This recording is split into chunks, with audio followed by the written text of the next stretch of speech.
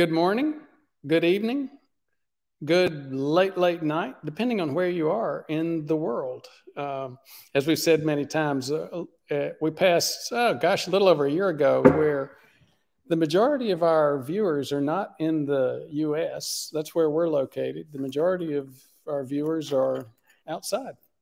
So, depending on where you are in the world, uh, have a good day and um, and thank you for joining us.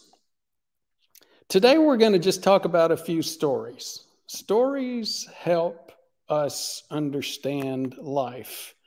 And if there's one area that's really, really difficult to understand, it's cardiovascular disease, it's chronic disease, it's Alzheimer's, it's um, heart attack, stroke. You know, guess what? The best medical systems in the world struggle to understand it.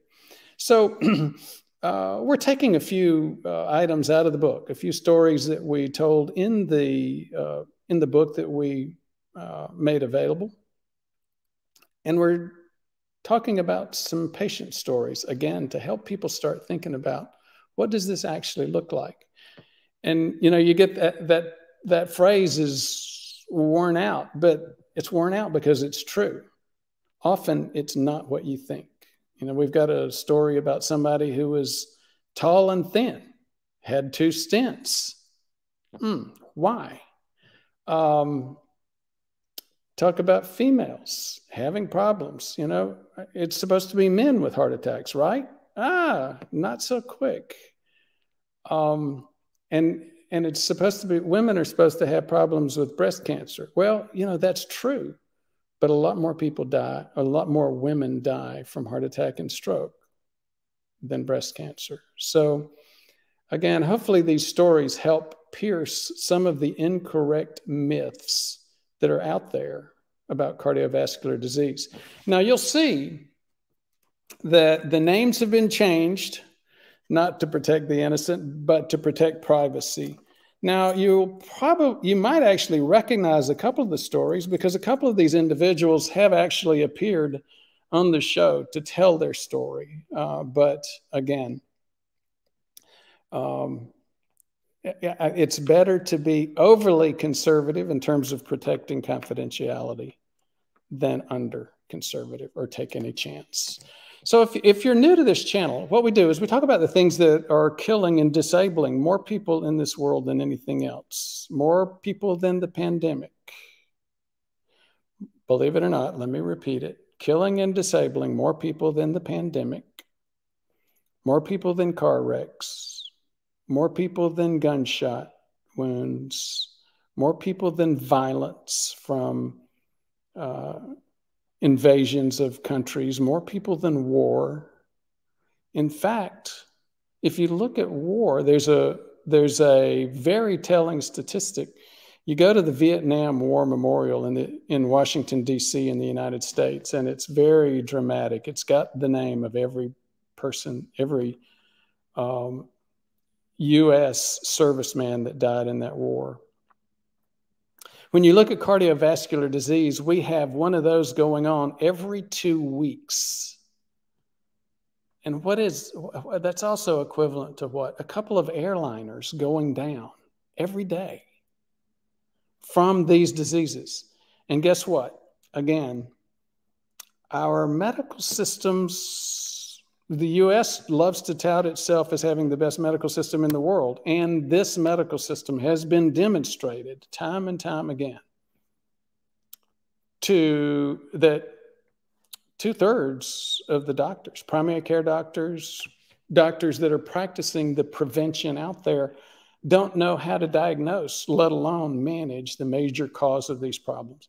So we'll get into that before we talk about it, but just a few more comments about uh, what we have available on the channel in terms of content. The vast majority of the content is absolutely free, and that's on purpose.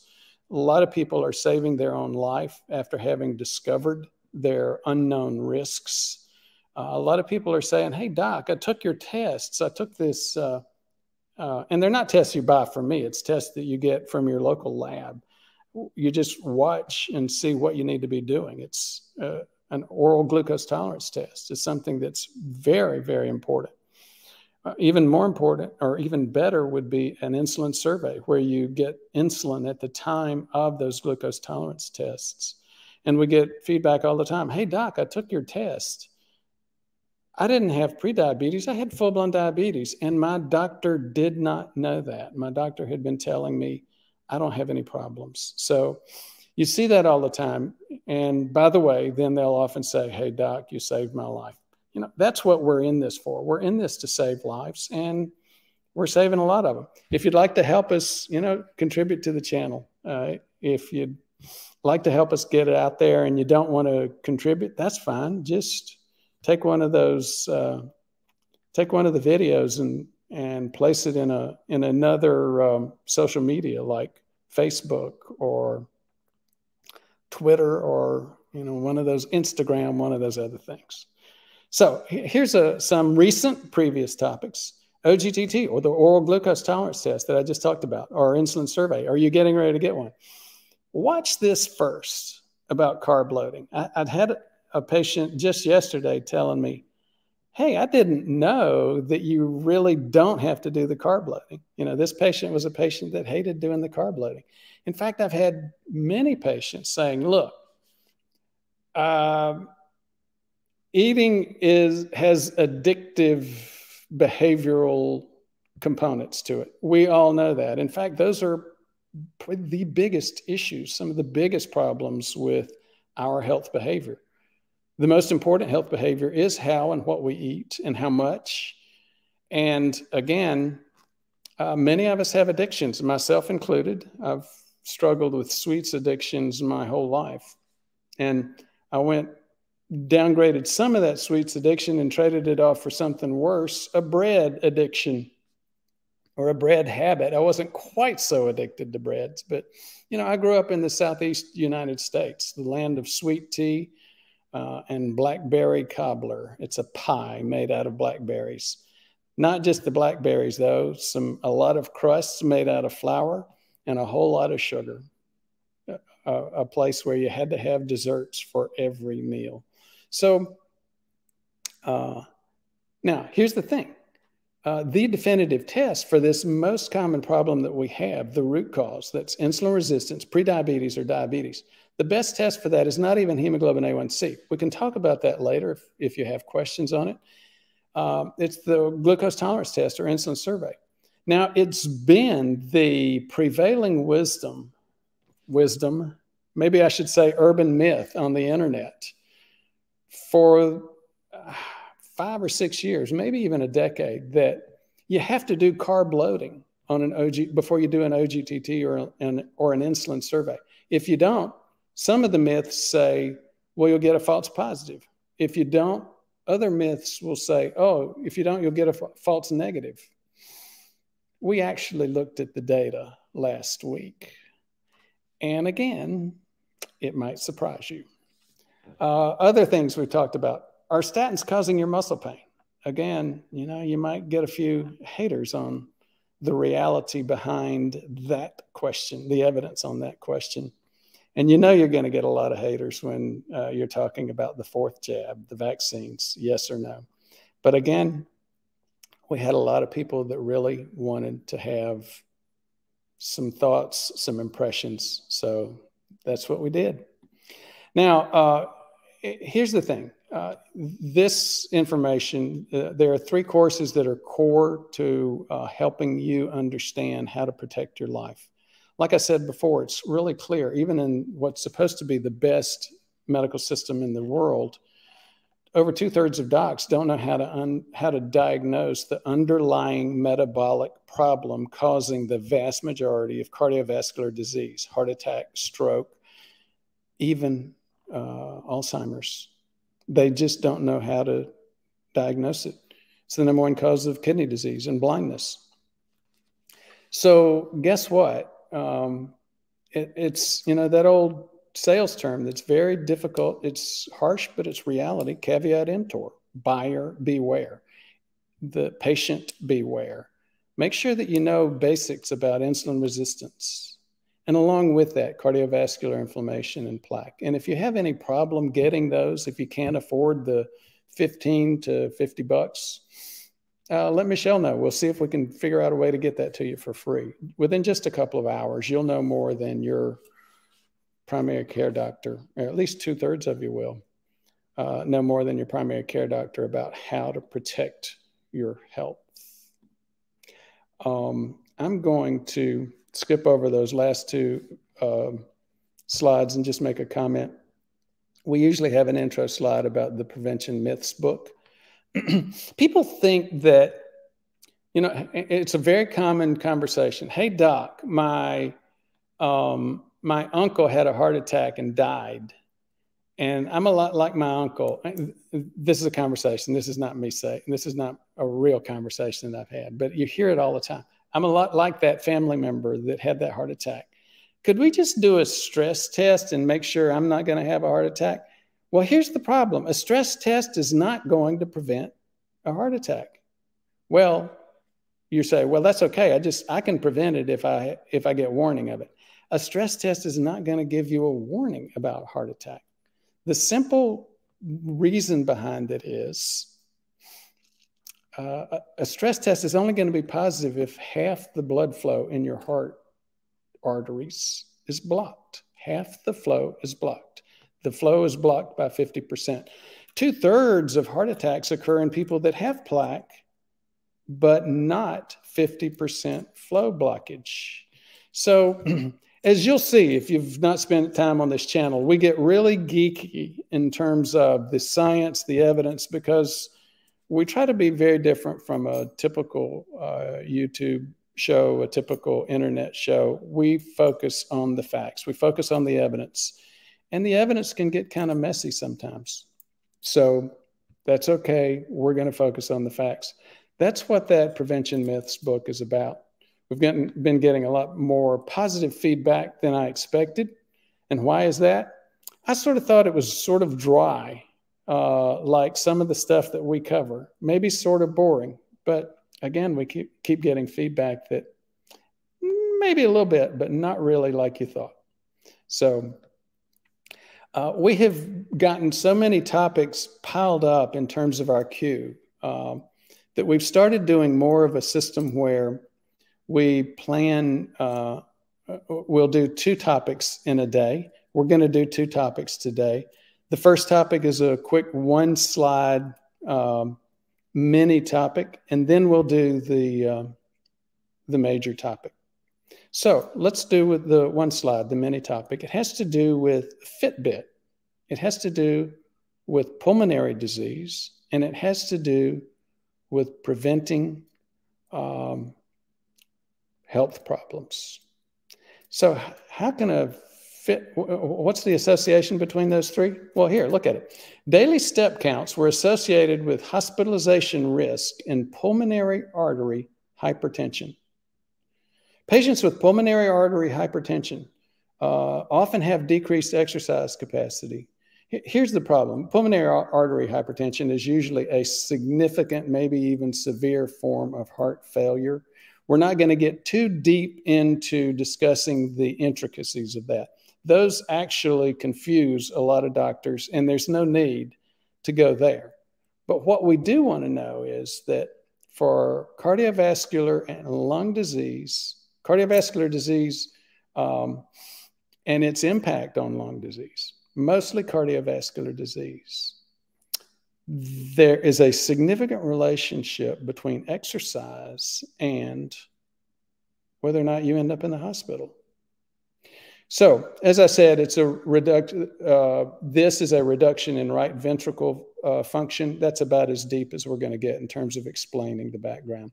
The authors of this study performed a study where they they asked participants to wear a Fitbit Charge 3 device for a two week run in period. Um, an echocardiogram was then performed. 42 patients uh, participated in this study, and an average of 4,709 steps was recorded. Lower step counts were associated with higher risk of hospitalization. Yeah, if you thought I was going to say higher step counts ended up in hospitalization, no, it's it's what you would expect. Get out there and walk. If you can do that, you're much le- uh, less likely to end up in the hospital. And guess what? Is that a surprise to anybody? It shouldn't be. You know, here's the bigger question How much of that is just a participation bias? And do you know what I mean by participation bias?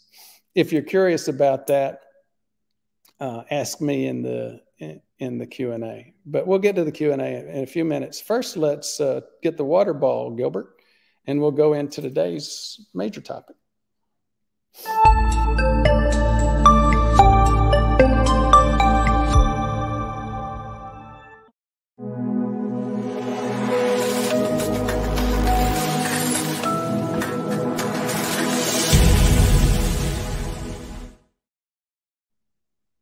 So thank you, Gilbert.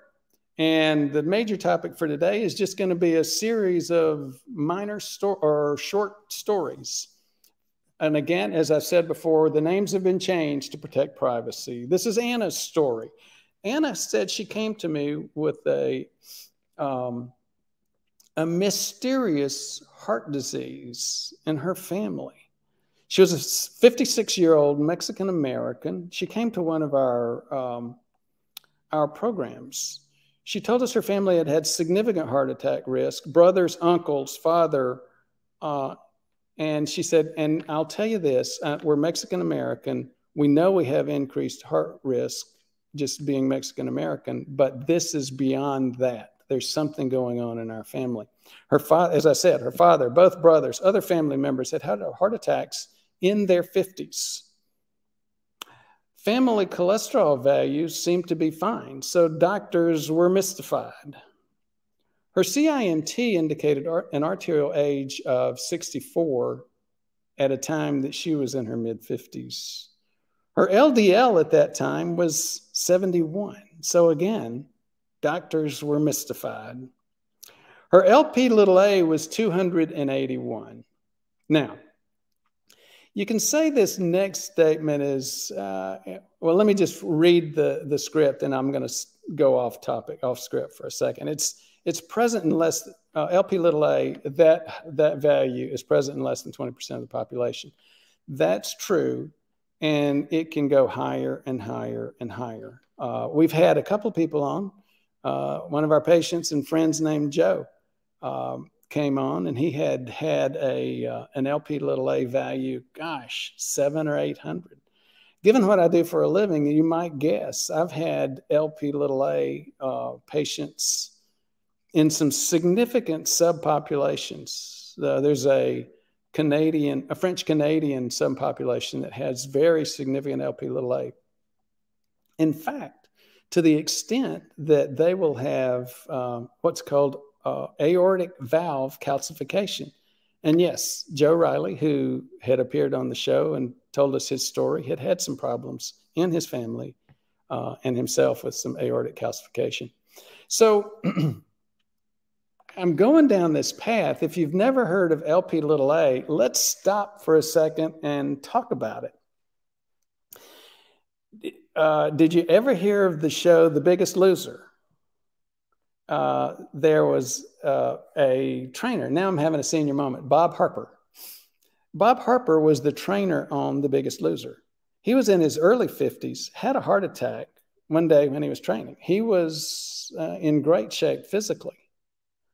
And it was like, oh my gosh, what happened? So he comes out that week and says, it's LP little a. Again, if you're still, if you've never heard of it, one of your questions might be, well, so what is that? And then he said the next statement. I got it from my mom. Well, LP little a is a genetic issue. It's a thing that we that many doctors have known about for a long time.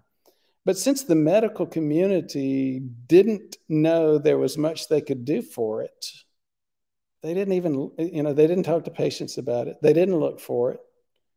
Here's what it is LP little a is actually a genetic variation of LDL.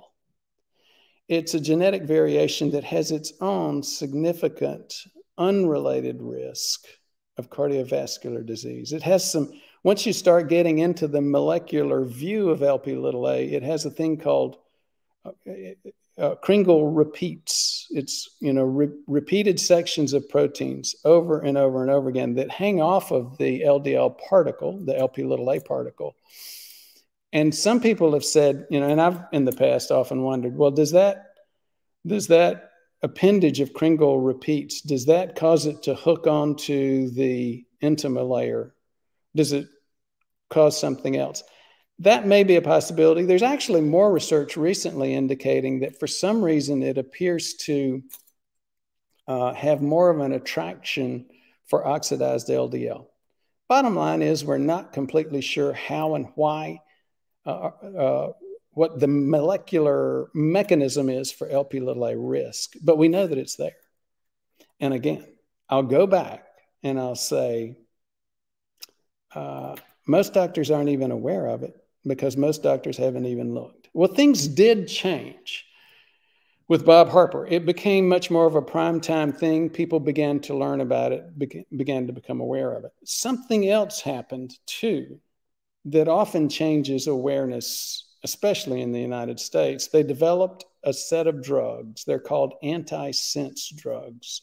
And those antisense drugs have actually had a huge impact on the LP little a levels. You don't see the antisense drugs out there just yet, but you do see a lot of clinical trials.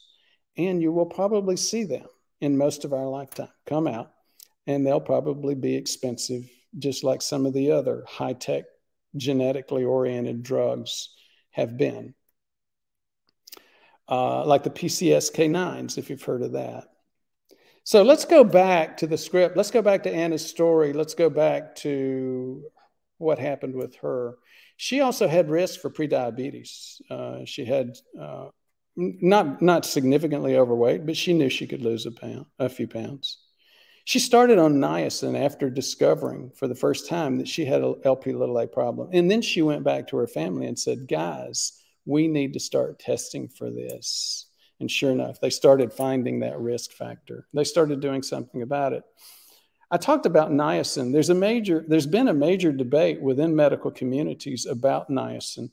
One of the uh, the study authors that people uh, doctors often quote to say niacin doesn't work came on and he said, This is very unfortunate. This is, in fact, a disaster because doctors are going to misinterpret the results of my study to think that niacin doesn't help for LP little a, and we know it does. So, again, another one of those stories involving the research around cardiovascular risk. Now, this is another interesting story. Uh, you, are only going to have heart attack and stroke risk if you're uh, overweight and you have a lot of body fat, right? That's what most of us think. And there are good reasons for that. Body fat is a major, major issue. And it happens more as we age into it, that middle age bulge. We think that that's, you know, just unsightly, but, or maybe pudgy or gives you a dad bod. Mm, that's not just the problem.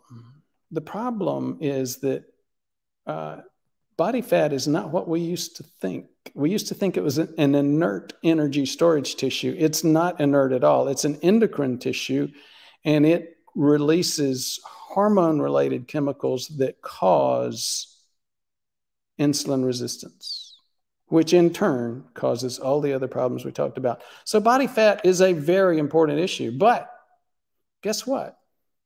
Thin people can get problem cardiovascular risk problems as well. Jim, for example, was an example. He uh, his BMI was 20.5. He was very muscular, very little body fat. At age 53, he'd already had two stents. So this wasn't a body fat issue. We did uh, actually we did some OGTT uh, and looked for uh, insulin resistance. We thought maybe you know he was one of these thin people that had some. No, we didn't see significant in, insulin resistance with him either. Uh, well, you know, maybe it was FH. Maybe there was some LDL issues. No, LDL issues, uh, values had been typical. Well, maybe there was a lot of plaque. Mm, not so much, not really that much plaque at all. A little bit, but not, not much. Pre-stent angiograms did show some plaque, though. So still, he had not shown a lot of plaque on CIMT. He did have some plaque on uh, pre-stent angiograms, and he'd had symptoms. Because of uh, Jim's body habitus, not complexion, but because of the fact that he was so tall and so thin, he was like six four, or is like six four. Um, Marfan's uh, syndrome was considered. He actually had uh, more than one workup for Marfan's. Uh, Marfan's folks, uh, patients are usually tall, thin. You know, you hear about that with the basketball players. Um, you know, you hear about that. You heard about that with uh, Len Bias. Len Bias's story got, um, for those of you who know it, it also involved drugs and some other stuff. Um, but the typical Marfan's uh, syndrome patient is also a cardiac issue, but not the typical cardiovascular issue that, uh, that we're used to talking about on this channel. With Marfan syndrome, what you get is some risk for aortic aneurysm, you know, splitting of the tissues of the aorta. That's the concern that you have with Marfan's. So, yes, it does uh, predispose people to premature death. Um, but Mar- Marfan's syndrome had been ruled out. And in fact, at the time of the writing of the book, Marfan syndrome had been ruled out not once, not twice, but three times. Now, other related genetic issues like Stickler's syndrome, it's a marfanoid like uh, connective tissue issue, was, uh, that was considered. Again, nothing.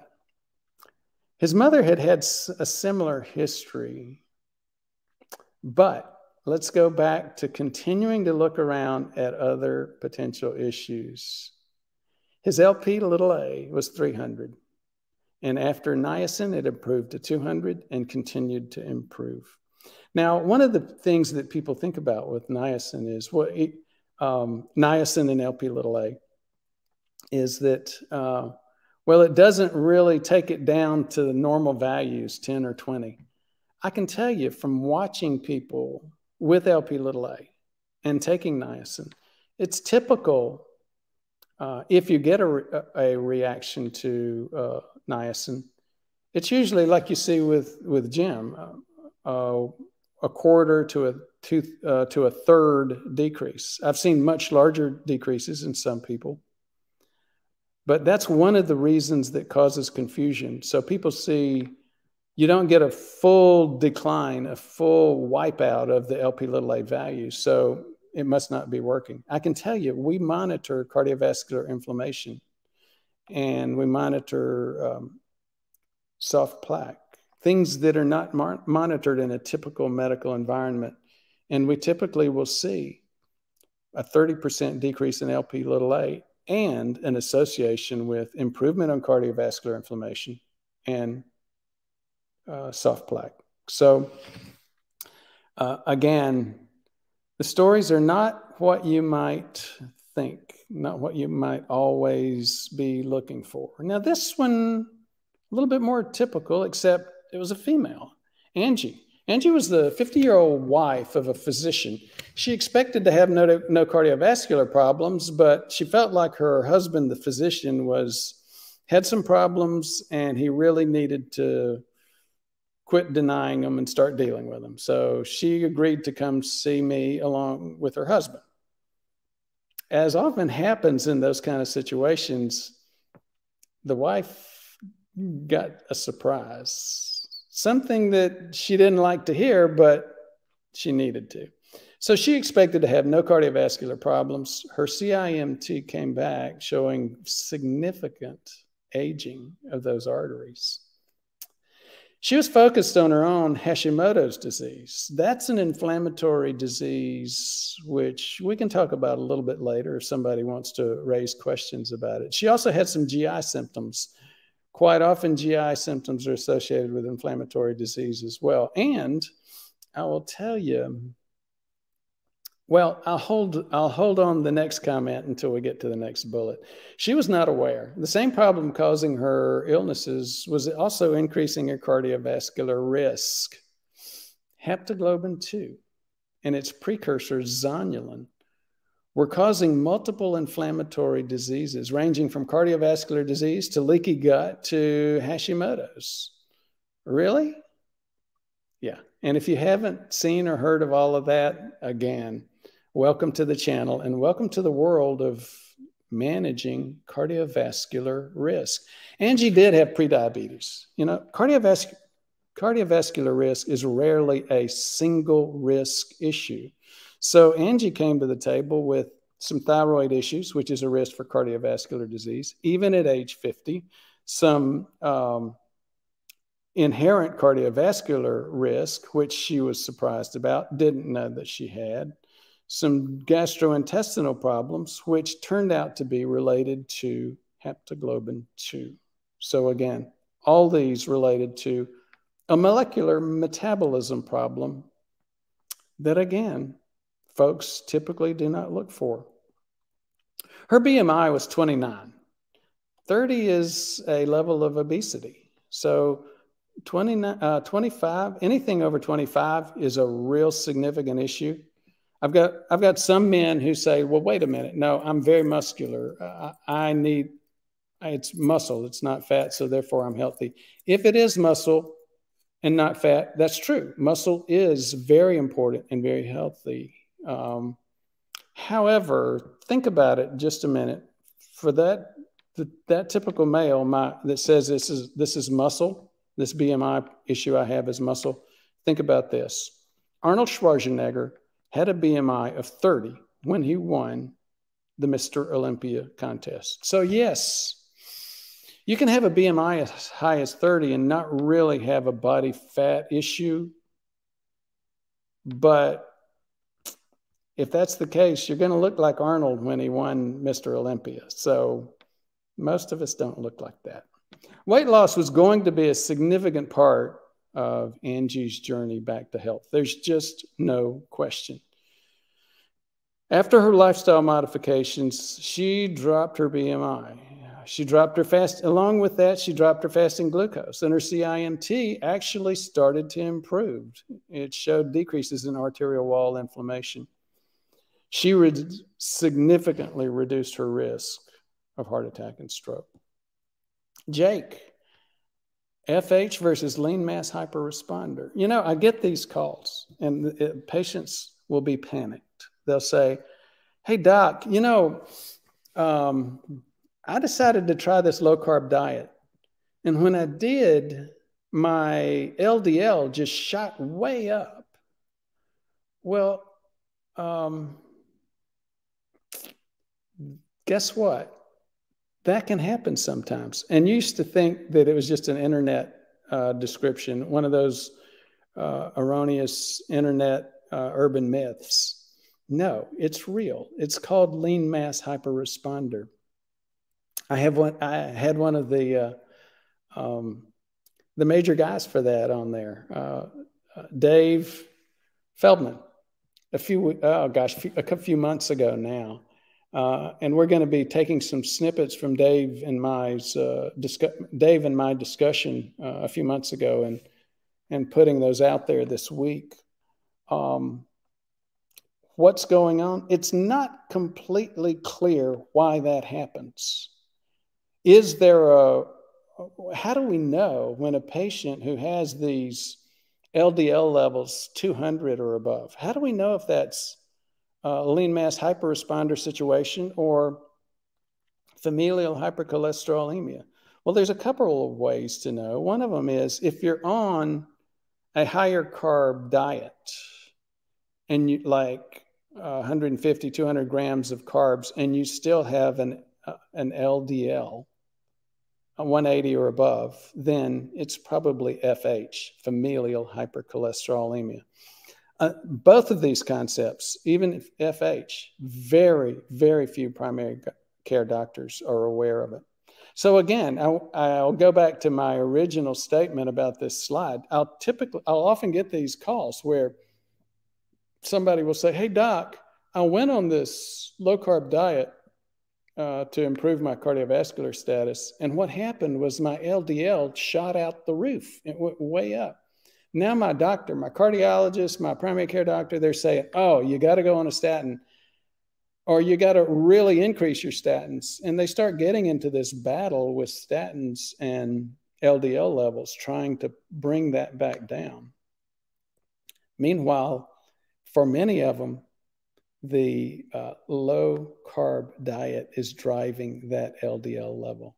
So people are not aware of that. Their doctors are not aware of it, and they continue to um, just respond inappropriately to the to the detriment of patients. Now let's go back to Jake and the and the uh, the story here. Jake had had cholesterol problems detected when he was 19 years old. His dad had had a triple bypass, and his dad had had huge uh, LDL levels as well. Jake was thin, very athletic. Um, his LDL was always above 200. At age 39, he had a positive calcium score. So, um, Jake is one of those folks. Um, I strongly suspected FH, familial hypercholesterolemia. After uh, discovering our channel, he um, he came on. He actually shared his story. He did a couple of videos with us. Um, he realized that this, this is his quote. I realized I needed more than lifestyle. I had familial hypercholesterolemia.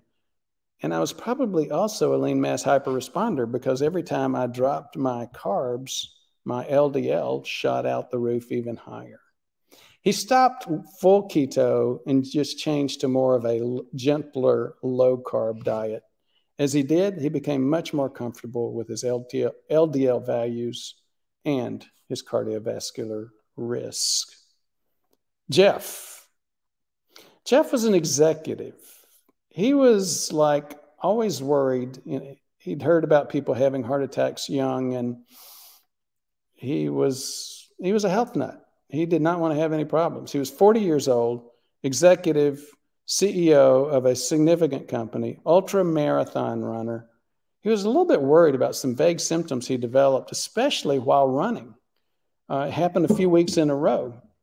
Despite these symptoms, he declined inflammation testing, cardiovascular inflammation testing. He was um, he saw a cardiologist, and the cardiologist said, what cardiologists almost always say well, let's do a stress test.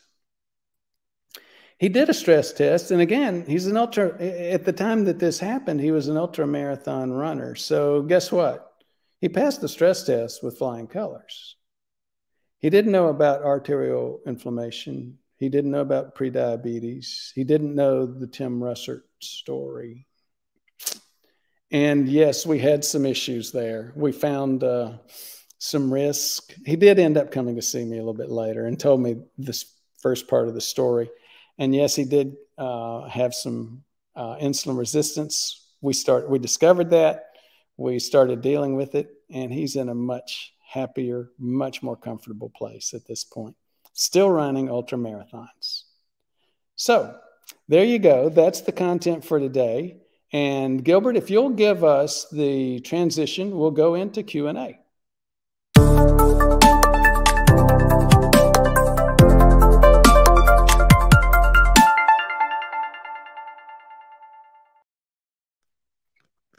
So, actually, I need to change my screen a little bit. Okay, we've got, oh, dang, we have I, I thought this was going to be a light day, but we've got a lot of questions. Let me, let's see if we can get started with them. Vagabond show, Sojourner. Can't, uh, he's talking about a quote that he hears on this channel quite often.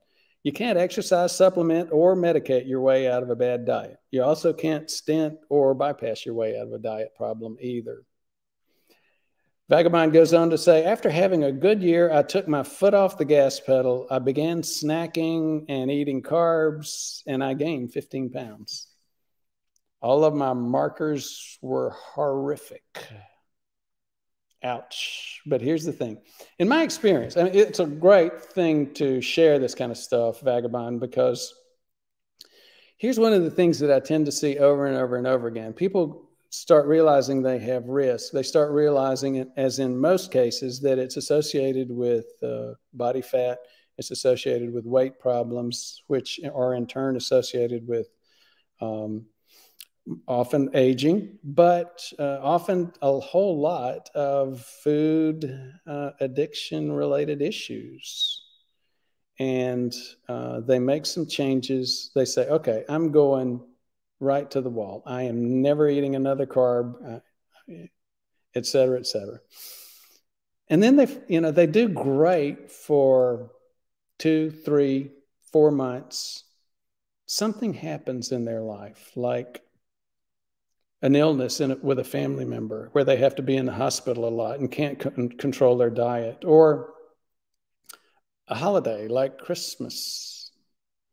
And as we mentioned earlier on, occasionally uh, some people have fallen off the wagon with just doing that three day carb load prior to an OGTT or an insulin survey.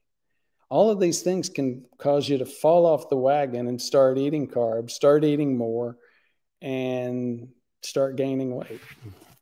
Well, you know, we're not talking about the speed of getting to your weight loss goals. We're not talking about um, how much and how fast you can get there. This is a real tortoise or the hare issue. We're, this is not a sprint. This is not even a marathon because depending on how fast you are, you know, if you're at world record times, sub two hour marathons, that's one thing. But most of us mortals that have actually run marathons are three, four, five, or six hours.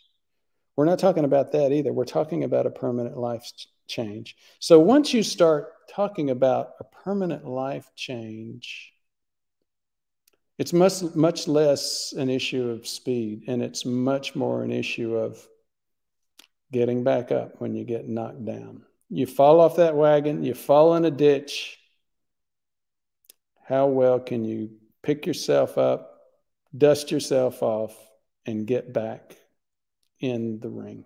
So I mixed a few metaphors there. I hope you uh, hope you can um, can uh, to, uh, tolerate that. Bobby Ocampo from uh, the Philippines, Mabuhay. Mabuhay to you as well, Bobby. Thank you so much for joining us today.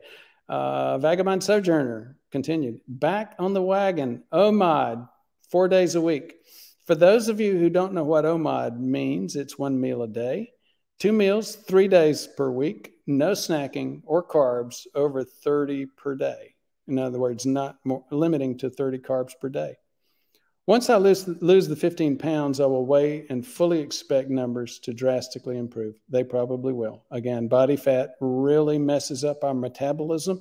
And when we look at the biomarkers that we talk about on this channel, it's really, really clear that uh, it's a big, big deal in terms of health.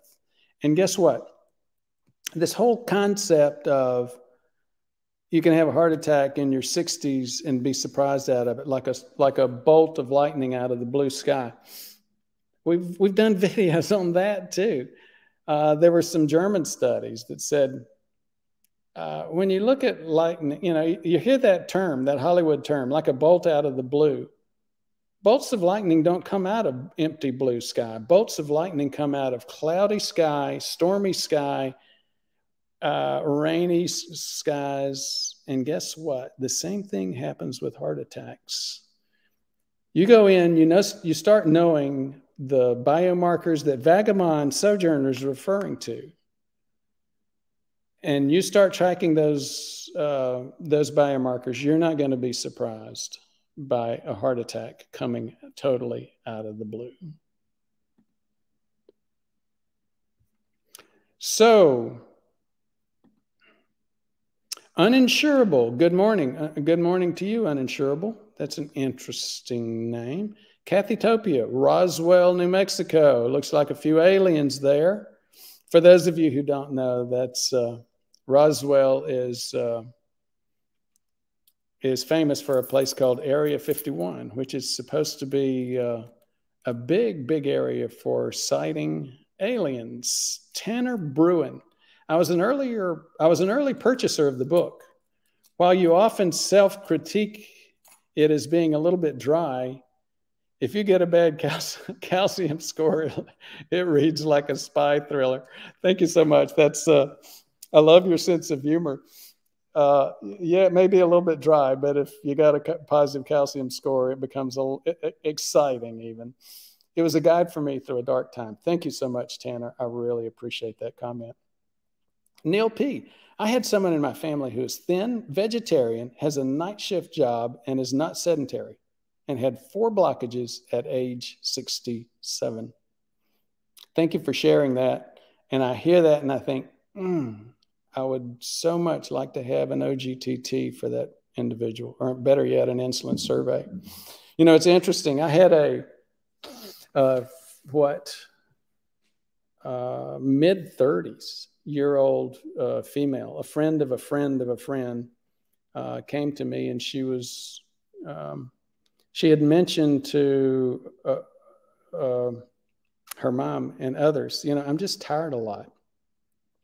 She had a, a child that was what, less than a year old, maybe a year old, two years, um, very much in the infant stage. And, um,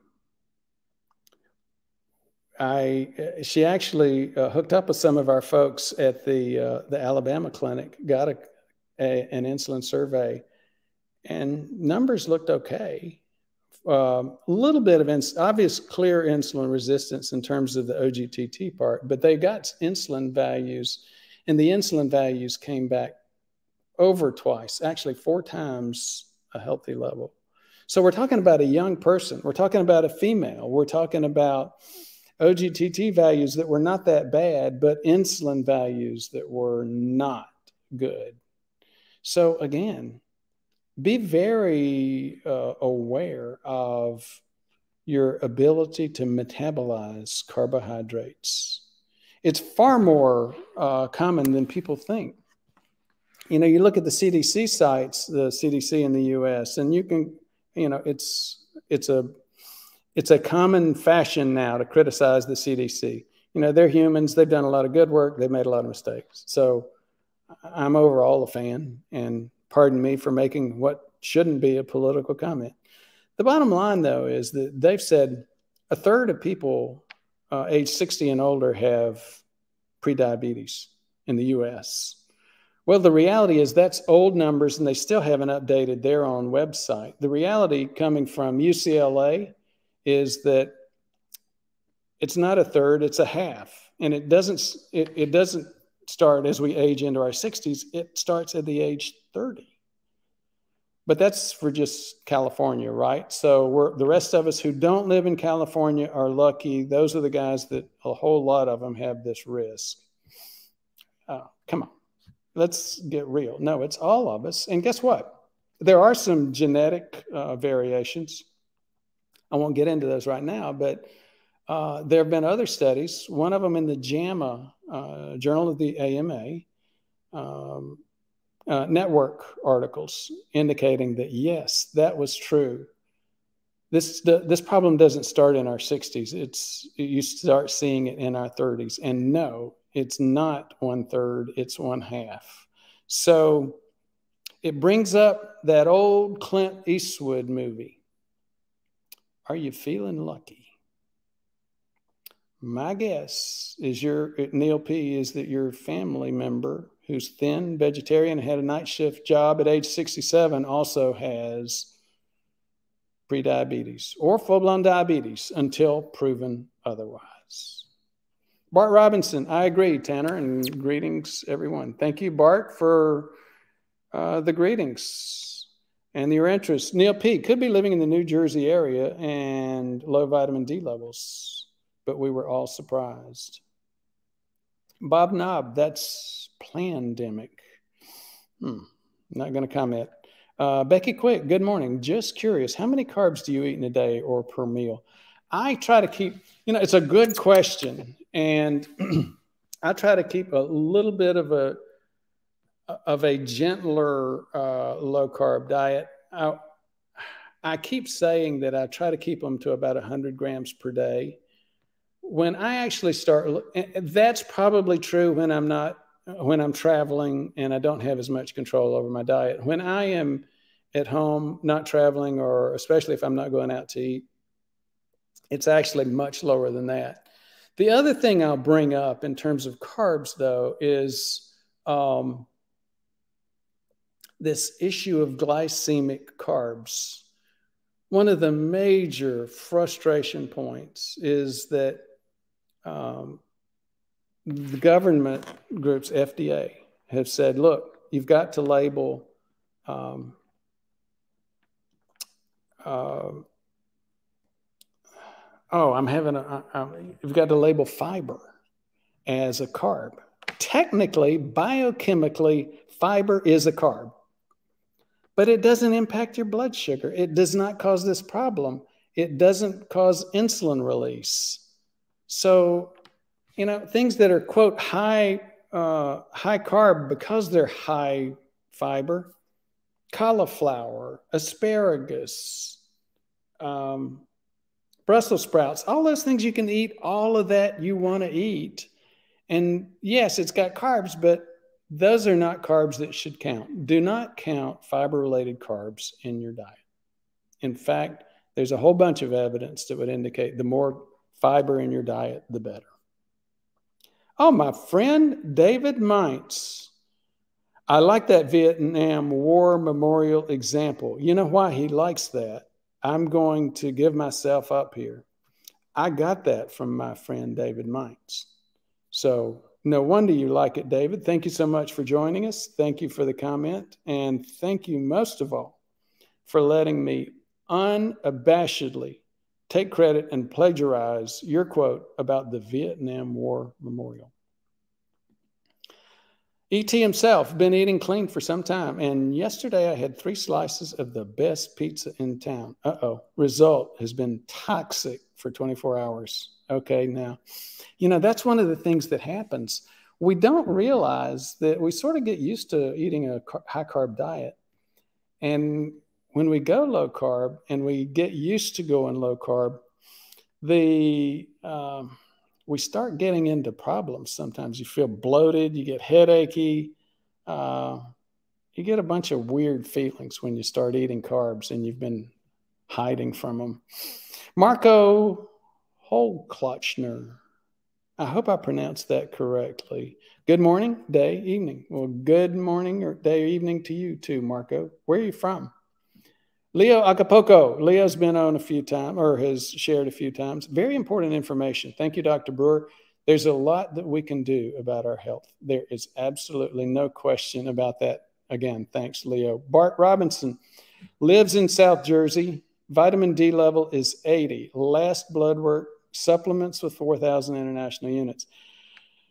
You know, it's a good point. Several points about vitamin D uh, you used to have it, it, used to be um, here. So vitamin d originally 100 years ago we thought was just a preventative uh, against rickets which made your bones bow, bow out.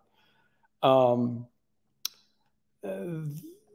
then they saw that I mean, and, and these were people that had very severe vitamin d deficiencies. So they said, look, you can avoid that with levels of vitamin D in the teens and 20s. Um, so that was originally the goal. And then they said, okay, maybe 40.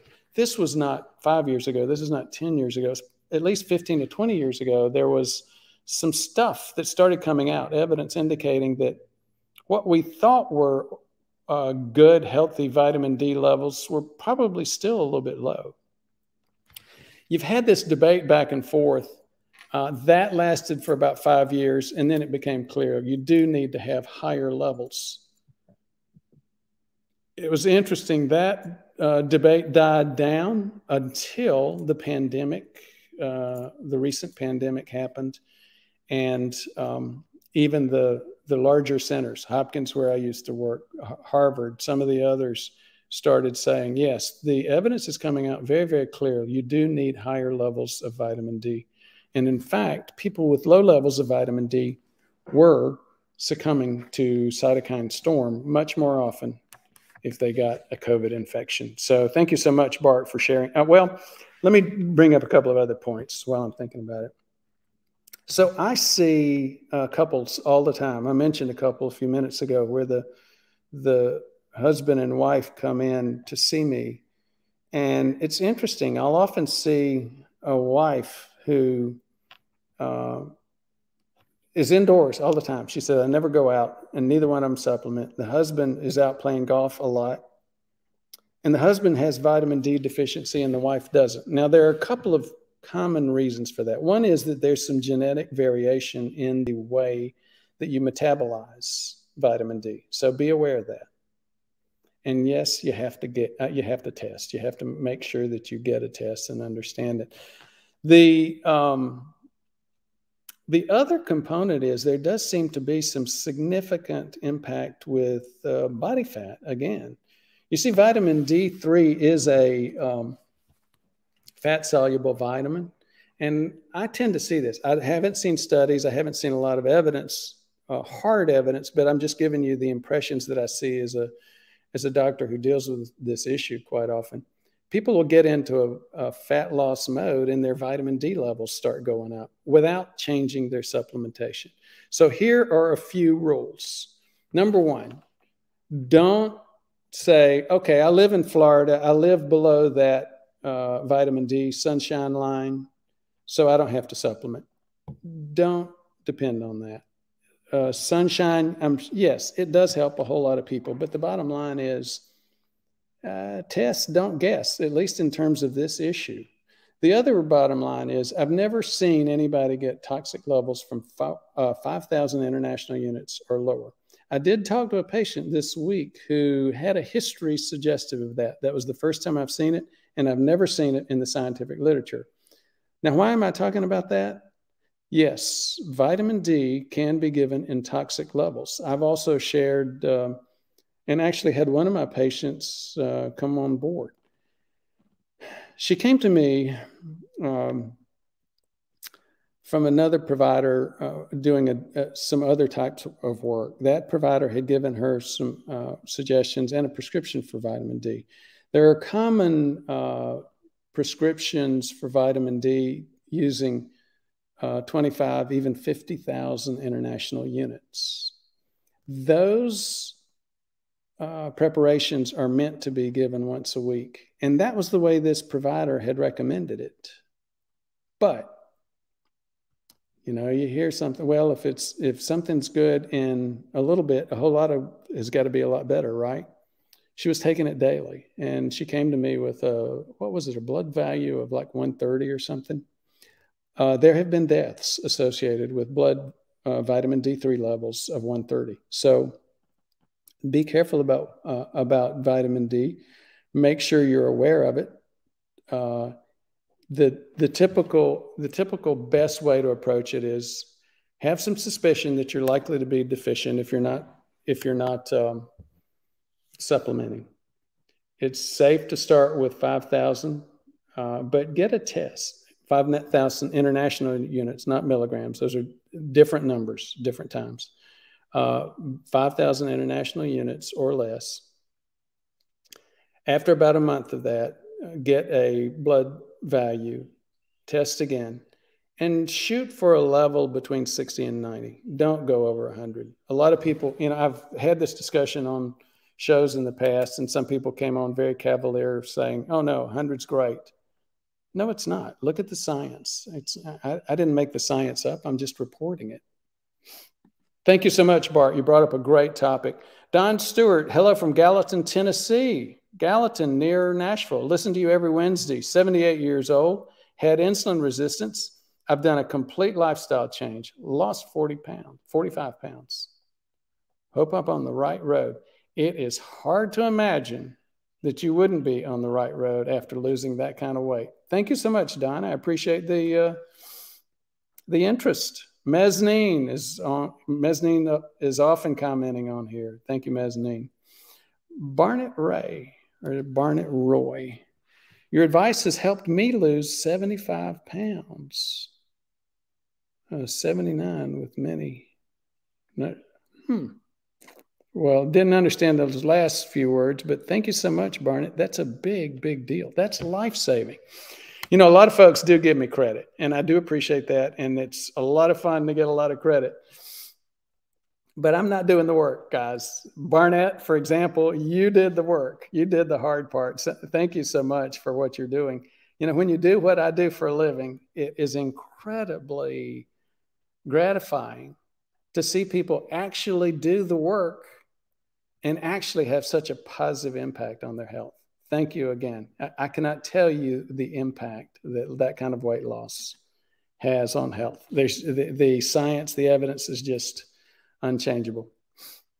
I'm going to digress for a second. I, I, realize I've got this sun coming over. Um, it is what it is. We're down at the Alabama um, at the Alabama offices, and this is what we've got. So um, I, I, hope you can uh, tolerate the, the poor lighting. Bobby Ocampo, if diet, diet, diet is the major solution, our problem is the nutrition guidelines. Oh, don't get me started on that. We copy the standard American diet in the Philippines, and you do. And as you know, uh, Bobby, and others know as well, a, a large portion, most of my production team, the channel production team, like Gilbert, live in the Philippines. And I've had, uh, I've done some work with um, some of the previous staff members. Uh, one of them was very young, in his uh, 20s, had significant diabetes related problems. And yes, his diet consisted of pineapple, guava, other fruits, high glucose fruits, and guess what? Rice. You know, just carb after carb after carb. So, yeah. Barnett Roy, God bless, lost 75 pounds. Oh, at 79 years old. Thank you so much, Barnett. Wow, incredible. Uh, many issues, 215 to, oh, oh, oh, you went from 215 pounds to 142. Incredible. You lost, you didn't lose one of you, but you came pretty close. Thanks so much for sharing, Barnett. Uh, Brendan Lenane, regret I followed a damaging five a day UK campaign, which strongly suggested more fruit is better. Even included banana chips and ketchup. Oh. You know, the problem with those, the biggest problem, and I have to say it before I finish your comment, Brendan. People say, well, Doc, what, what diet do you want? Uh, what, what diet do you recommend? And as you can see, I tend to lean towards low carb, but here's the real issue I don't care so much about paleo, keto, low carb, high carb, uh, plant based, except I want to make sure that people know what they can healthily eat. And by far, as I said a few minutes ago, over half of us at age 30 cannot help cannot eat carbs with good health. That's the reality. So, first of all, know the situation, understand the situation. And again, you'll see it. Most of us cannot eat carbs and still be healthy. Um, so, yeah, that's why I end up leaning towards more of a low carb diet because most human bodies cannot tolerate it. There's actually even some evidence. Um, you know, there are a couple of, of endocrinologists who have weighed in on this in this area. Bob Lust, uh, Robert Lustig and um, Bob Ludwig. Similar names, similar uh, approach, similar endocrinology background.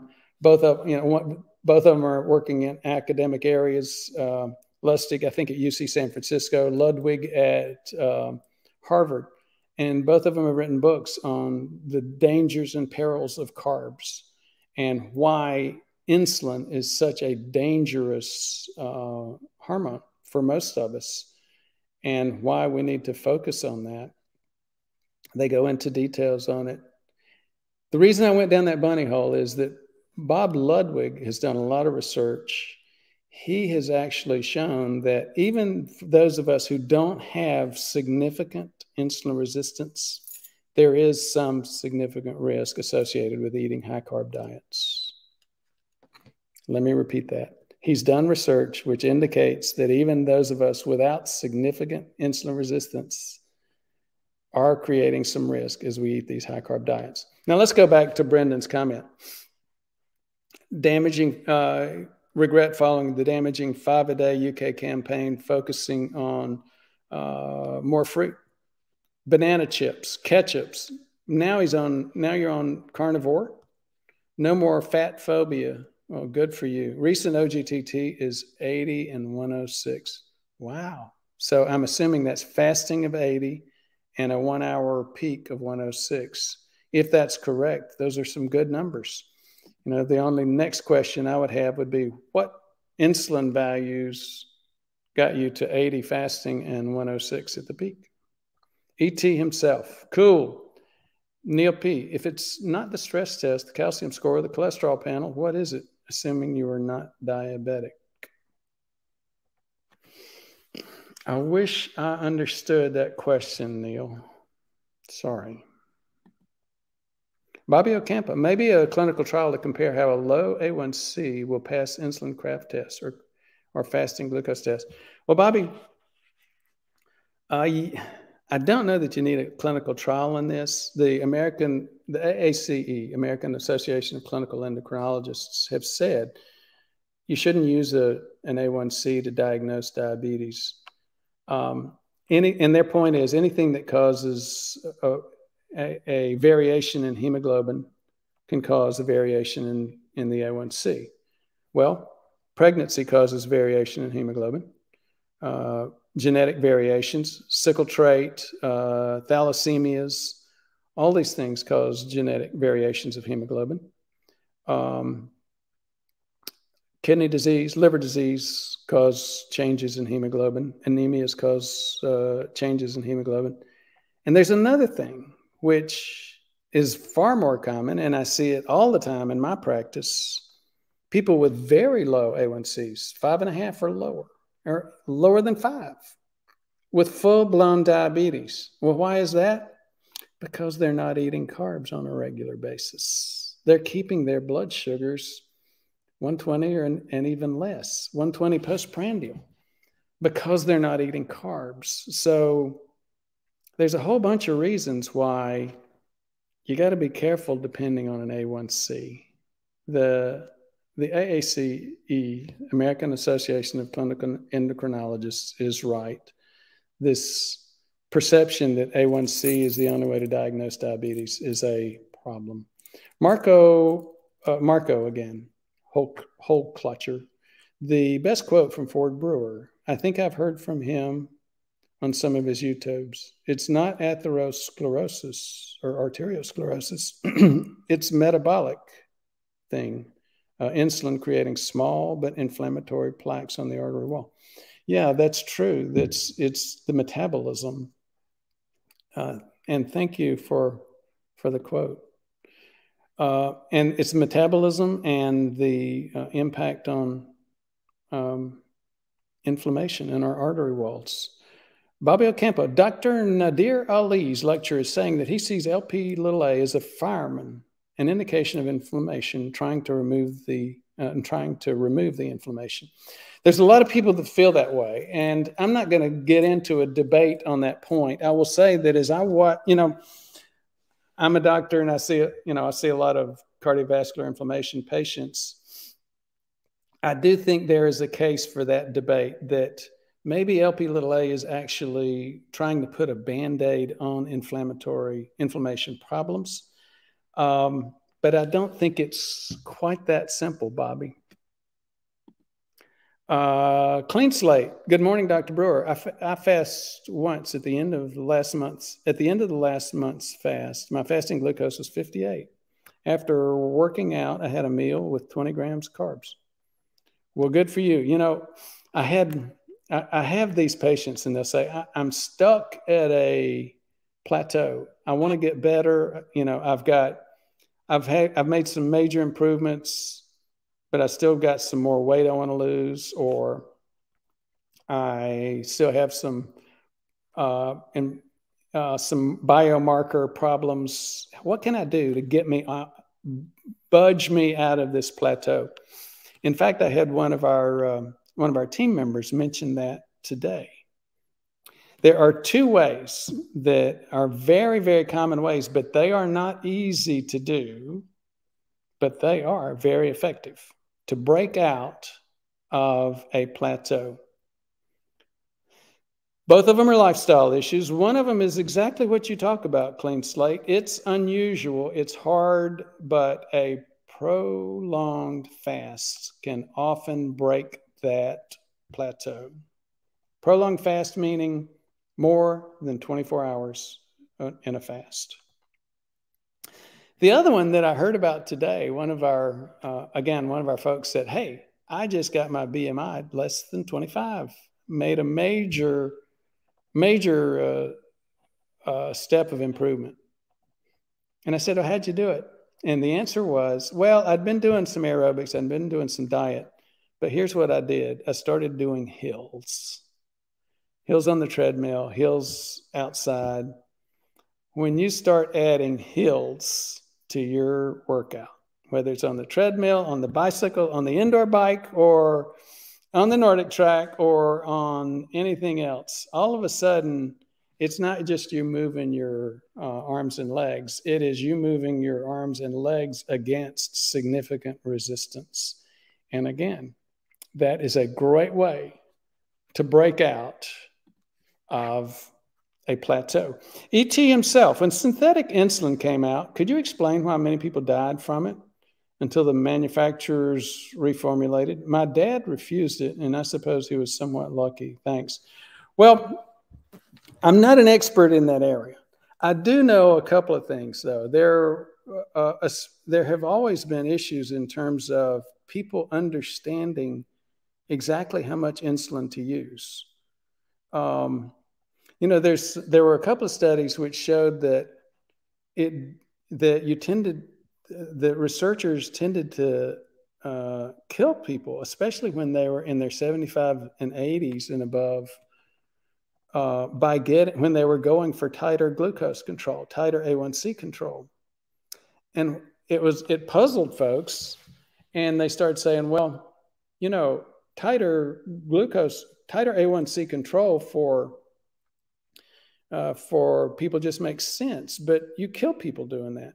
Well, as they got deeper and deeper into the analytics of the studies, what they found was yes, they were killing people with insulin by trying to make lower blood sugars. Insulin is a, exogenous or synthetic insulin. Uh, insulins can be that you inject into your body can be very dangerous.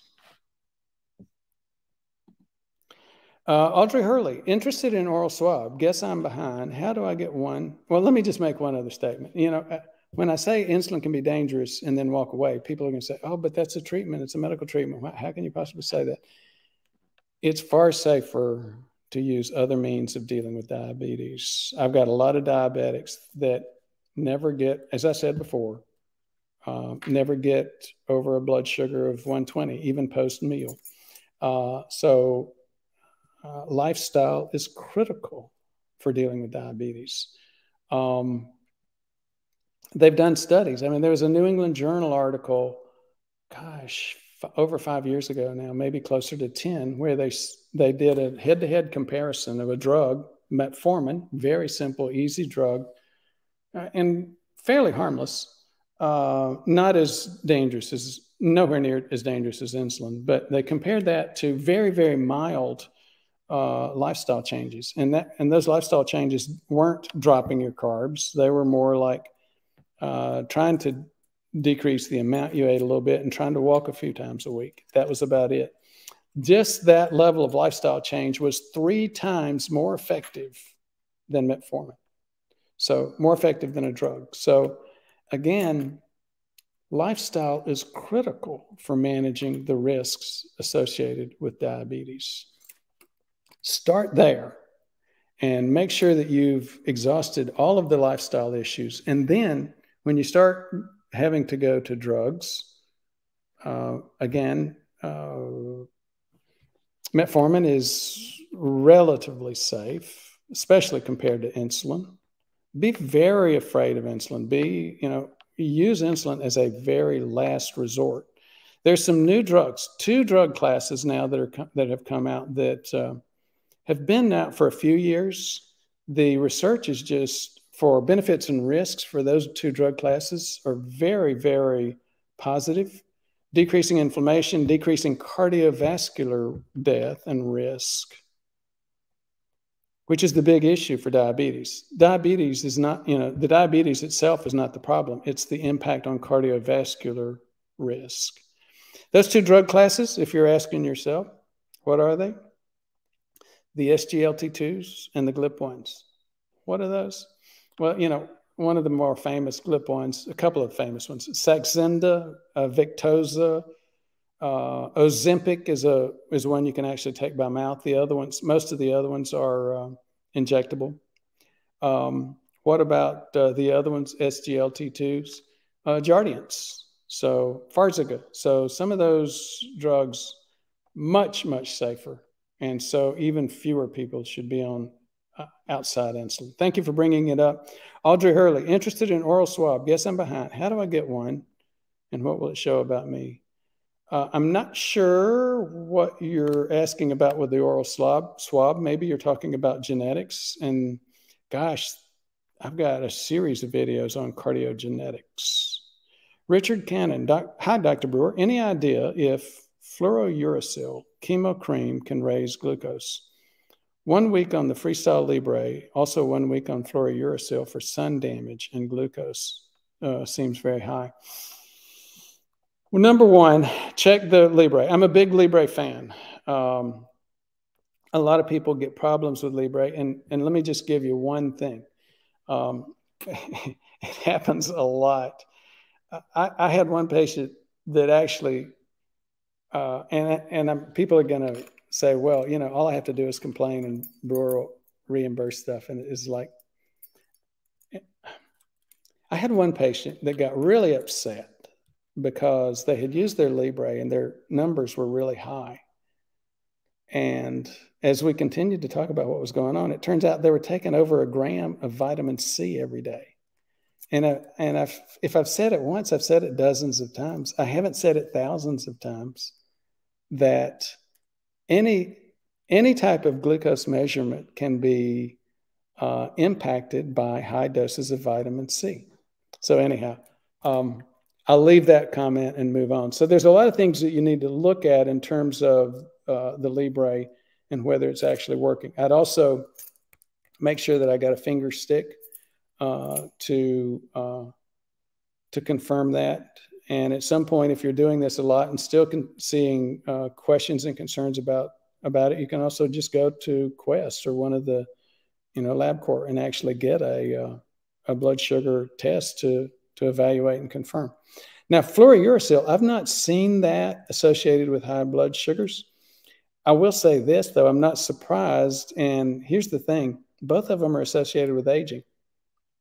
I've got significant um, um, skin cancer problems. Uh, I've got some genetic risks there inherited from my mother. Uh, and um, both of these things are very age related. So I hope that helps, Richard. Thank you for bringing it up. Audrey Hurley, behind the curve. How do I get the oral swab? Did blood work?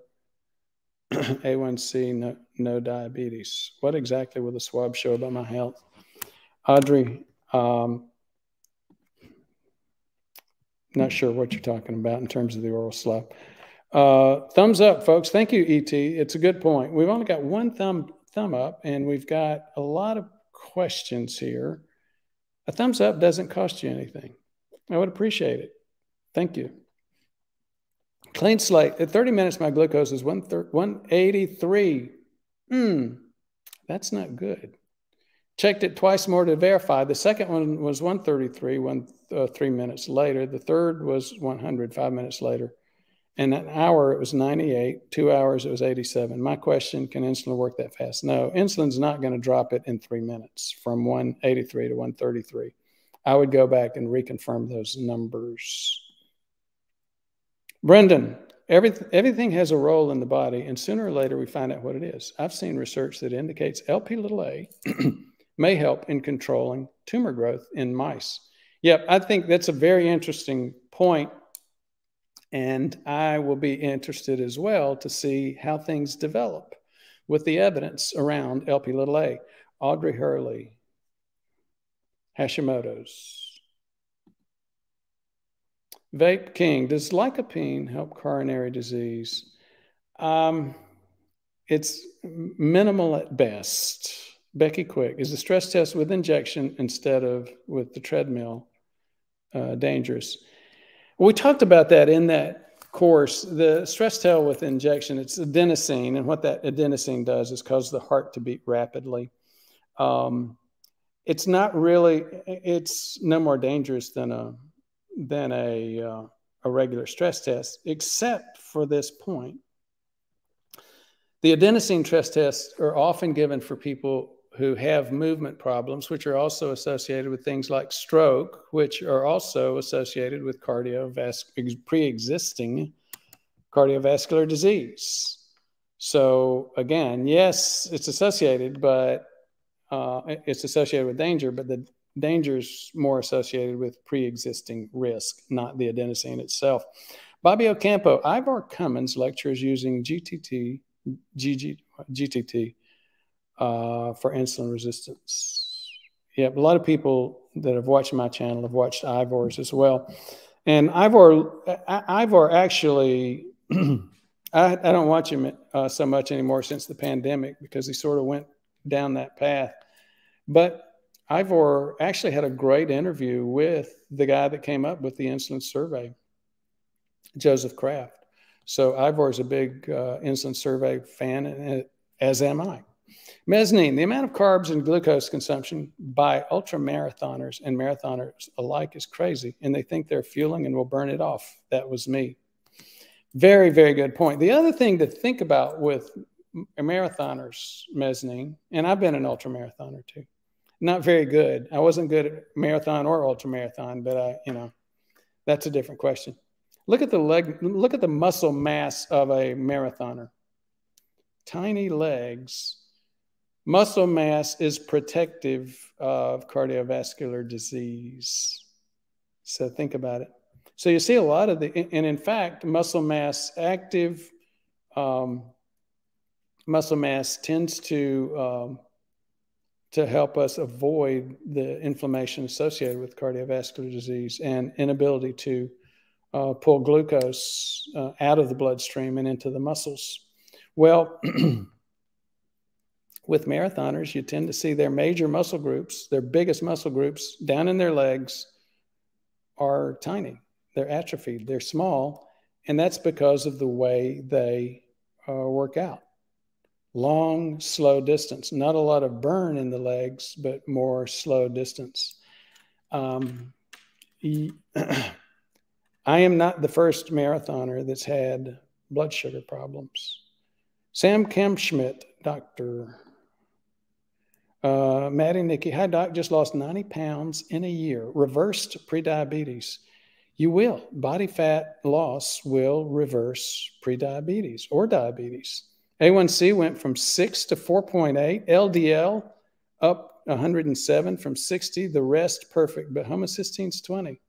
I learned about homocysteine from you. Calcium score zero. Thank you so much. So with homocysteine, I had a patient with that just yesterday. It's pretty common. Homocysteine has been, it's sort of like LP little a uh, and some other things that have been noted to have some risk for cardiovascular disease. Homocysteine uh, risk has been off and on. Uh, it, again, is one of those things that came up on the internet and turns out to be uh, some true research once you actually dig deeper. It's something you may have heard of on the internet, and that's called poor methylation. You see, our uh, oxidation, things that cause our biggest strengths are also, often also our biggest weaknesses. And oxidation is one of our biggest weaknesses. It's the essence of cardiovascular inflammation.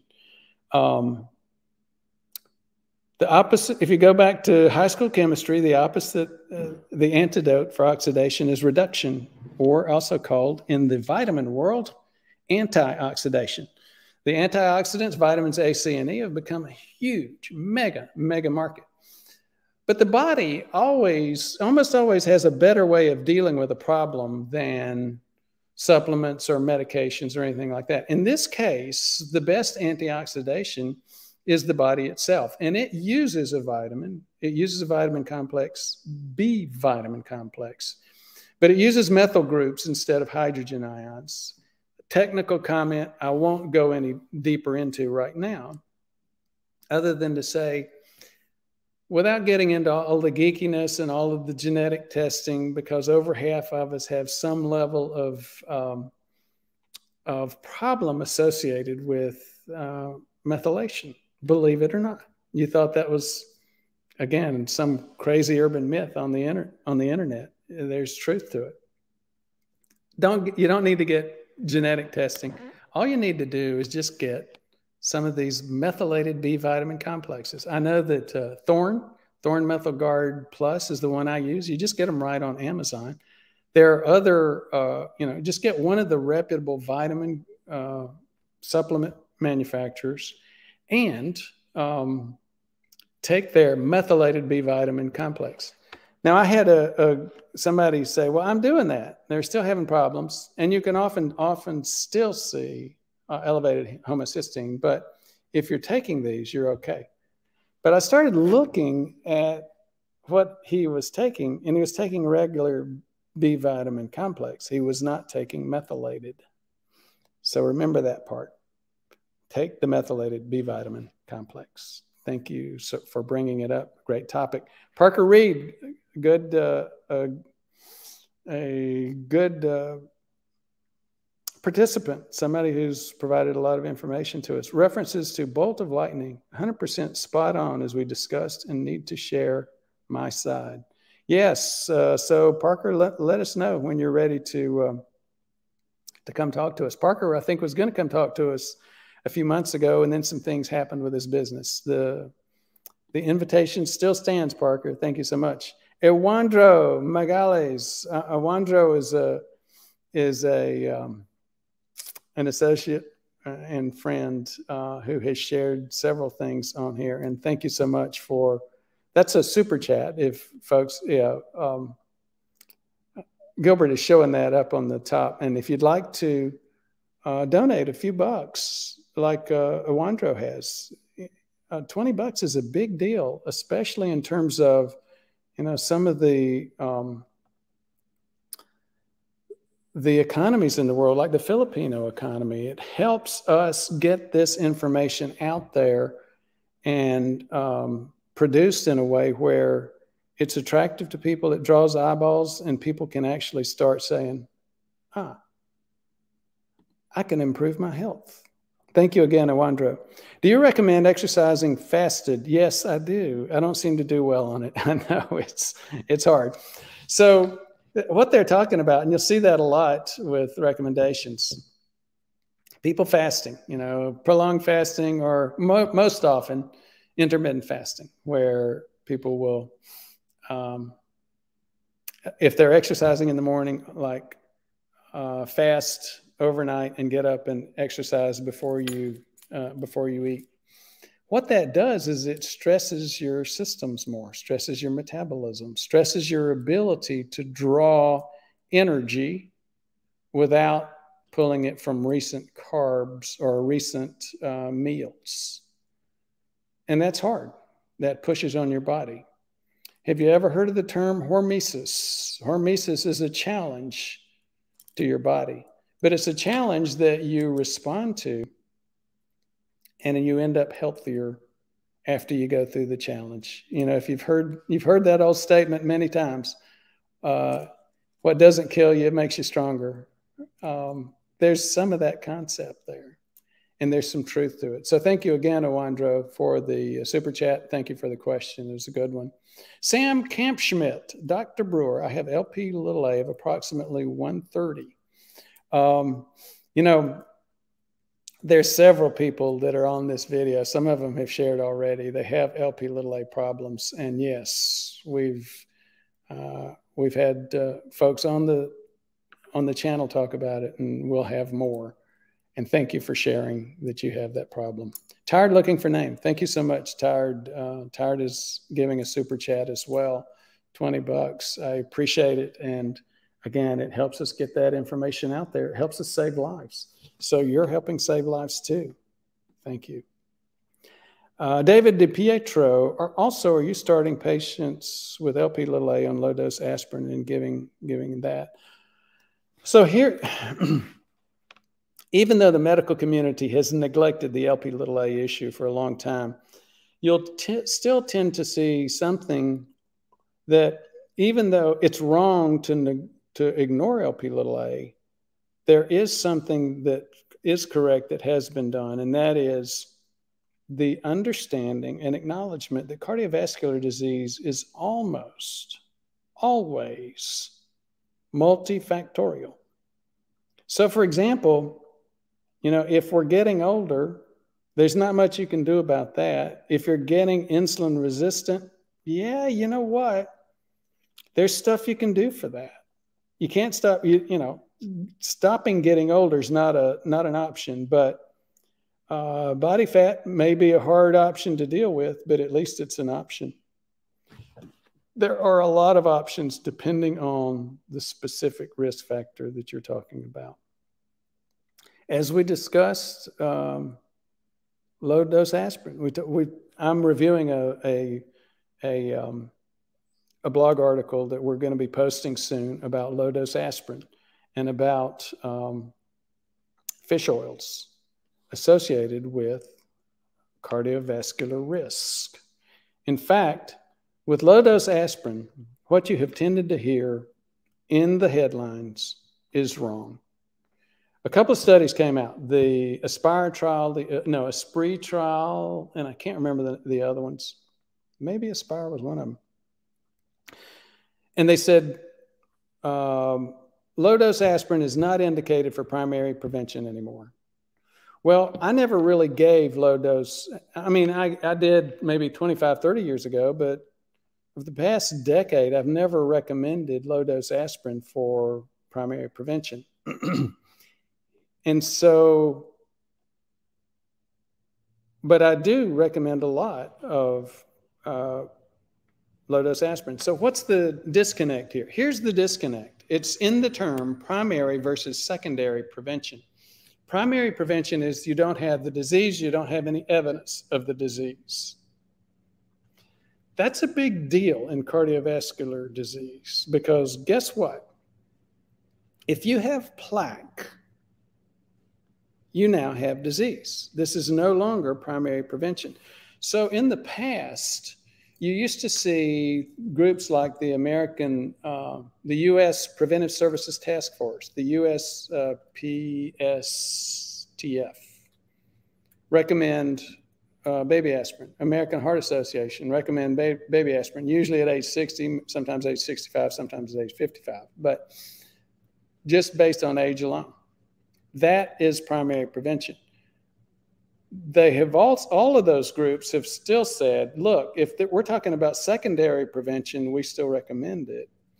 Those haven't changed. Well, since they backed off on the primary prevention, uh, articles like ones appearing in the New York Times and other ones, the headline said, baby aspirin no longer recommended. Hmm, major misinterpretation. If you've got plaque, this is no longer a primary prevention issue. So be aware of what you're reading and how to interpret it. Thank you for bringing it up, David. It was a big issue and not just for LP little a patients. Another, another from David. Since it increases your chance of causing a clot if you rupture a plaque, or do you do a, cal- a CT calcium score first, technically? Not sure exactly where that question fits in all of this, but the bottom line is number one, assess the situation. Find out if you have plaque. Find out if you have soft plaque. Find out if you have calcium. You know, a calcium score will help tell you if you have plaque. It just won't tell you if you have soft plaque. A CM, CIMT is the only thing that's going to tell you that. The uh, other thing to find out is do you have trouble metabolizing carbs? And if you do, you need to have uh, a hard look at why and how often and how much are you eating them. So, and if you have plaque, I clearly recommend consideration of baby aspirin. I hate to say this because so many people hate them, but I also clearly recommend that you consider a statin. David Pietro, it, okay, let's go to another one. Bambi Gage, good morning, Bambi. Good to hear from you. Bambi's been with us for years. Uninsurable, I'd love to have a CGM, continuous glucose monitor. Libre being the one that's been out there for a while. There was a Dexcom, uh, first the one, the two, the three. Now we're on Dexcom 6, I think. Uh, my doctor wouldn't prescribe it for me. Do you prescribe scripts for that, or would I need to sign up for your program? Uh, call Michelle. Uh, if you, uh, uh, Gilbert, if you'll give them Michelle, uninsurable Michelle's number. Michelle has a specific program. I have a a place in my heart for people trying to get a CGM. I don't think it should be prescription related. I am able to write prescriptions in every state of the union. I have uh, I'm licensed in all 50 states and active in those licenses. So call Michelle and she can help you get set up with a program specifically for that. John Bundy, from your earlier remarks, Marfan's can also cause mitral valve. Oh, uh, yes. Thank you so much, John. Um, I've got that in my own family. So, of course, I should have mentioned that. Marco Holzklutner, Marco from Serbia. And no wonder I can't pronounce that last name. And I don't think I've ever seen comments from Serbia on the channels. Thank you so much for sharing that, Marco. Gerard Webster calculated my HOMA IR at 1.9. Need to get it down. Any advice? All the things we talk about in terms of improving re insulin resistance. I will tell you this Gerard. I get nervous about people uh, just looking at HOMA IR. I'm actually okay if you've looked at your HOMA IR and you and you realize you have a problem. the concerns that I have are people that have looked at their HOMA IR and said, I don't have a problem based on that. And here's why. That is still a snapshot, and it's still usually based on fasting insulin and fasting glucose. I've seen people with really good numbers. I see them all the time with really good numbers for both glucose and fasting glucose and fasting insulin, but major problems as soon as they're challenged with glucose. So thank you for sharing that. GLR, are there any CGMs available over the counter in the US? Uh, you know what? I heard about three or four weeks ago that there's one coming out that doesn't require prescription. As we learn more about that, we will let you know. Gator. When metformin is very useful, while metformin is a very useful drug, like it like any, it has side effects. And that's the truth. 20% of folks get gas, abdominal discomfort, even diarrhea with metformin. Now, with most of that 20%, it subsides as, you know, over the, the next few weeks but not with all. A1C, uh, is there an A1C where you would rather de-prescribe it for a lifestyle controlled type uh, 2 diabetes? It's really a personal choice. Um, again, I've got I've got plenty of folks that are saying I still want to take it anyway because there's evidence that it improves the gut biome, maybe associated with that um, those symptoms. Gator, uh, and sure enough, people that are taking um, metformin tend to get more of a non-insulin resistant type gut biome. And you're saying, is that real? Is that true? Yes. You know, a lot of people think gut biome is doesn't have good science behind it. It's got good science. Um, the gut biome of people with insulin resistance tends to have fewer types of species and a lot more of those, a lot more um, uh, samples of those fewer uh, species. People with a without insulin resistance tend to have a broader scope of different types of species, and sure enough, people that are taking ins, uh, not insulin, people that are taking metformin tend to get that better um, gut biome. Another interesting fact in this age of um, uh, penicillin resistant, you know, antibiotic resistant um, uh, gut bugs that cause significant problems and actually even re- uh, resulting in the need for a stool transplant. Yes, that sounds awful, and yes, it's real. Um, you see it with C. difficile. You may have heard that term, Clostridium difficile. It's a, it's named that. It's a bacterium that has caused many, many problems. It's antibiotic resistant. That's where the term difficile comes from. Why am I talking about that? Well, people that have uh, they've first discovered it in those stool transplants.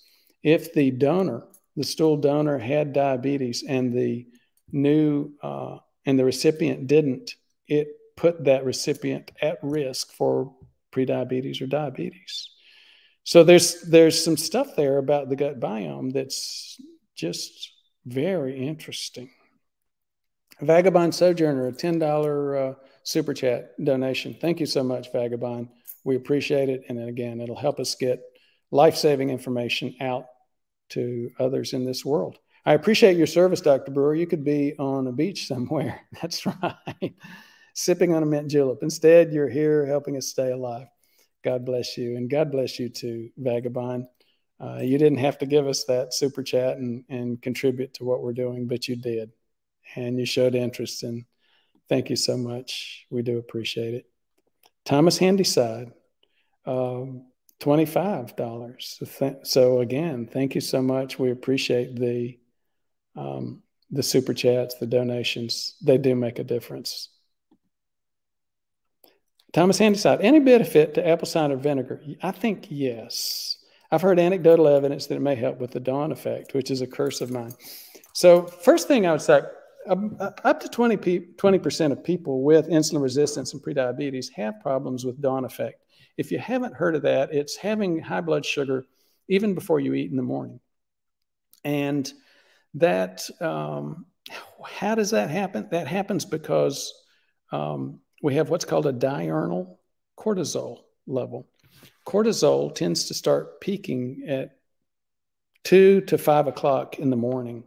And people that like to say, well, that's because of X, Y, and Z would say, well, that's because people are getting ready to get up and go about their day. Probably true. It makes sense anyway. Cortisol raises the blood sugar. So actually, you'll tend to see an increase in prevalence or the number of people that have dawn effect as they get more and more um, fat driven in their metabolism. How and why? Because you know, being fat driven, uh, often you're you're pushing your body. You're going through that hormesis stress, um, and that in and of itself can push a little bit more um, of the um, cortisol. So that's what's going on. I will tell you this: uh, one of the major there's several ways to deal with it. Uh, I haven't heard of apple cider vinegar as a way to do it. The, the, major thing with apple cider vinegar is that it lowers the the uh, gastric pH, the stomach pH, and therefore decreases emptying of the stomach contents into the intestine. Well, with dawn effect, you haven't eaten anything, so you're not. There's nothing. There's no gastric emptying to slow down. The other major thing that I tend to advise most of my people that are concerned about dawn effect is don't. The vast majority of people don't have significant levels. They're not reaching levels of 140, 180, 190 from their dawn effect. The vast majority of dawn effect types types of impacts are significantly lower. If yours is lower, worry more about the times when it goes over 140. Worry more about times where you um, you can control that blood sugar. Don't worry about your body pushing that a little bit. It usually pushes to more healthy levels. Vijaya Achar, Vijaya Achar. Where are you from, Vijaya? Hello, doctor. I started taking niacin, immediate release, 250 milligrams daily, and my HS, high sensitivity, CRP, C reactive protein. Went from 2.14 to 7.57 before taking and after taking for a week, respectively. Is there any correlation to niacin in there? that's certainly a, a possibility. Uh, uh, C-reactive protein is a protein made by the liver. It's an indicator of cardiovascular inflammation, but it's also an indicator of a whole bunch of other types of inflammation. For example, if we give 100 people a flu shot today, simple flu shot, within 48 hours, we know that 66 of those 100 people, two thirds, will have an elevation of their C reactive protein. So I don't look at just C-reactive protein alone. Most uh, most of the very few doctors that do look at cardiovascular inflammation usually only test with CRP. I don't test only with CRP because of this issue. In fact, C-reactive protein is by far the most common source of biological false positives for cardiovascular testing. What do I mean by that? Biological meaning it's a true false. Uh, it's an increase in in uh, C-reactive protein. It's not. I mean, it's biologically true, but if you're assuming that that C-reactive protein is elevating because of cardiovascular disease, that's often incorrect. It's often something else. So I look. What, what do I do then? I look for other things. I look for microalbumin creatinine ratio, uh, evidence of leaking in the protein, microscopic leaking in the protein leaking of protein into the urine. I look at LP uh, PLA2, or called, also called plaque2, not to be confused with LP little a. Plaque2 is one of the enzymes that your immune system releases when it attacks plaque in your artery wall. Let me just check my, uh, you know what? I've got patients coming up, and I had no idea that that we were going so long. I am I apologize, but I am going to have to uh, to end our um, end our our uh, event today. I'm sorry. We've been going on for pushing two hours anyway. Thank you so much for your interest.